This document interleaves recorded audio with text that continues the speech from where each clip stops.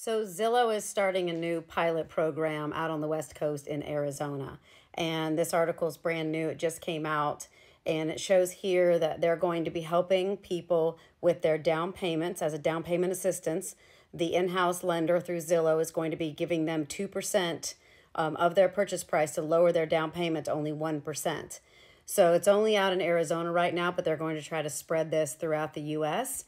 Um, so it's basically a grant that they're going to be giving these new buyers. But it's interesting because they're now going to try to capture buyers away from the regular market into Zillow um, so that they will continue to keep refinancing them down the road and continue to keep that business cycling through in Zillow.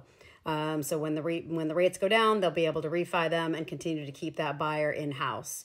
So you can see here it says that they're talking about renters and having to pay so much right now that it's equivalent to buying a home.